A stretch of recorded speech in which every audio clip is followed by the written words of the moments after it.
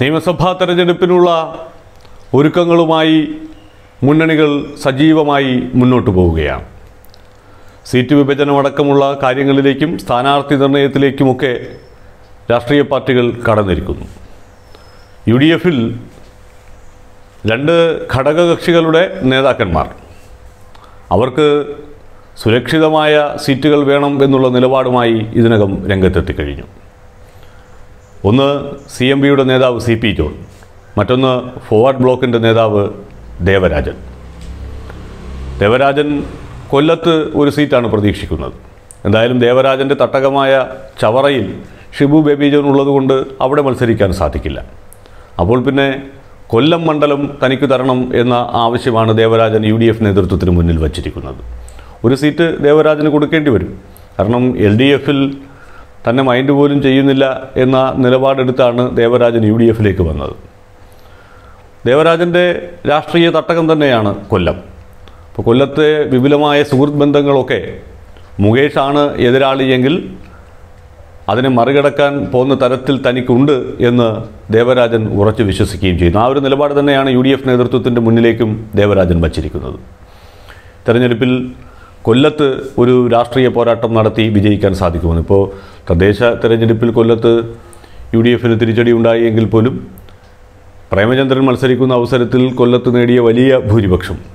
അത് U D F അനുകൂല വോട്ടുകൾ അവിടെ ഇപ്പോഴും ഉണ്ട്. പക്ഷേ ഒരു രാഷ്ട്രീയ പോരാട്ടം കൃത്യമായി നടക്കാൻ സാധിക്കാത്തത് കൊണ്ടാണ് അവിടെ യു ഡി എഫിന് പരാജയം ഏറ്റുവാങ്ങേണ്ടി വരുന്നത് എന്നുള്ള വിലയിരുത്തലിന്റെ കൂടി അടിസ്ഥാനത്തിലാണ് ഈ നിലപാട് ദേവരാജൻ മുന്നോട്ട് വയ്ക്കുന്നത്. അവിടെ ആർ എസ് പി തങ്ങൾക്ക് അധികമായി സീറ്റ് വേണമെന്നുള്ള നിലപാടും അതിൽ കൊല്ലം തങ്ങൾക്ക് ആവശ്യമുണ്ട് എന്നും ആവശ്യം യു ഡി എഫിന് മുന്നിൽ വച്ചിട്ടുണ്ട്. എന്തായാലും ദേവരാജനെ പോലെയുള്ള ഒരാൾക്ക് ദേശീയ തലത്തിൽ തന്നെ ശ്രദ്ധേയമായ ഇടപെടലുകൾ നടത്തിയിട്ടുള്ള നേതാവാണ്. നേരത്തെ ഇടതു പാർട്ടികൾ യു പി എ പിന്താങ്ങിയിരുന്ന അവസരത്തിലൊക്കെ ദേവരാജൻ ഉറച്ച ശബ്ദമായി ഡൽഹിയിൽ നിറഞ്ഞു നിന്നിരുന്ന ഒരാളായിരുന്നു. അപ്പോൾ ദേവരാജന്റെ ആവശ്യം. കൊല്ലം ജില്ലയിൽ ഒരു സീറ്റ് എന്നുള്ളത് യു ഡി എഫ് എന്തായാലും തള്ളിക്കളയാൻ സാധ്യതയില്ല. പക്ഷേ കൊല്ലമാണോ കൊടുക്കുക കുണ്ടറയാണോ കൊടുക്കുക എന്നുള്ളതാണ്. കുണ്ടറ പക്ഷേ ദേവരാജൻ വിലയിരുത്തുന്നത് കുണ്ടറയിൽ ഒരു ക്രിസ്ത്യൻ സ്ഥാനാർത്ഥി വന്നില്ല എങ്കിൽ യു ഡി എഫിന് വിജയസാധ്യത കുറവാണ് എന്നുള്ളതാണ്. സി പി ജോൺ കഴിഞ്ഞ തവണ കുന്നംകുളത്താണ് മത്സരിച്ചത്. കുന്നംകുളത്തല്ലാതെ കുറച്ചുകൂടി വിജയസാധ്യതയുള്ള തിരുവനന്തപുരം ജില്ലയിലെ ഒരു സീറ്റ് വേണം എന്ന നിലപാടാണ് സി പി ജോണിനുള്ളത്. സി പി ജോൺ ലക്ഷ്യമിടുന്നത് തിരുവനന്തപുരം സീറ്റാണ്. പക്ഷേ തിരുവനന്തപുരം വി എസ് ശിവകുമാർ സ്ഥിരമായി ജയിച്ചുകൊണ്ടിരിക്കുന്ന സീറ്റാണ്.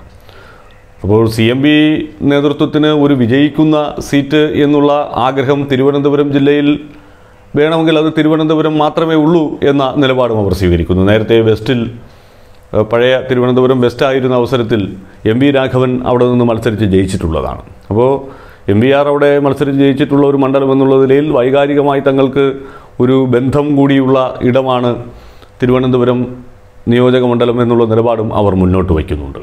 അതുകൊണ്ട് തന്നെ ശിവകുമാറിനെ അവിടെ നിന്ന് മാറ്റി സി പി ജോണിന് അങ്ങനെ ഒരു സീറ്റ് സുരക്ഷിത സീറ്റ് എന്നുള്ള നിലയിൽ തിരുവനന്തപുരം കൊടുക്കുമോ യു ഡി എഫ് എന്നുള്ളത് കാത്തിരുന്നു കാണേണ്ടുന്ന കാര്യമാണ്. ശിവകുമാറിനെ തിരുവനന്തപുരത്ത് നിന്ന് മാറ്റി വട്ടിയൂർക്കാവിൽ രാഷ്ട്രീയ പരീക്ഷണത്തിന് ഇറക്കാൻ കോൺഗ്രസ് തയ്യാറാകുമെങ്കിൽ തിരുവനന്തപുരം സീറ്റ് എന്നുള്ള സി പി ജോണിന്റെ ആഗ്രഹം സഫലമായേക്കും.